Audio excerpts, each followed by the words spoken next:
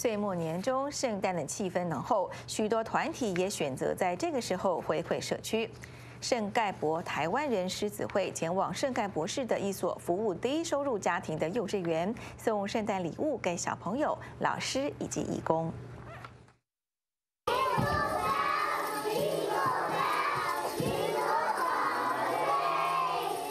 欢迎圣盖博台湾人狮子会的成员前来圣盖博市拉卡萨社区中心附设的幼稚园。这些三四岁的小朋友们用童稚的嗓音表演的圣诞歌曲，看起来非常可爱。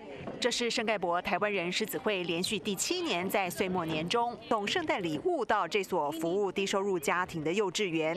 他们送上了做成动物形状的寝具，还有饼干，让每位小朋友都抱了个满怀。反正这个月份都是感感恩的月嘛，我们就是说排定每年固定这个时候来做这些关怀的活动。除了礼物之外，圣盖博台湾人狮子会也致赠了一千美元的礼金。另外，中华民国妇女联合会洛杉矶分会副主任委员庄满丽也致赠了五百美元。对于这些圣诞节贺礼，圣盖博市长代表拉卡萨社区中心表达了感激之意。And I think the children really see that there's there's other people here in the community that love and care for them and are looking after them. So I think it really means a lot.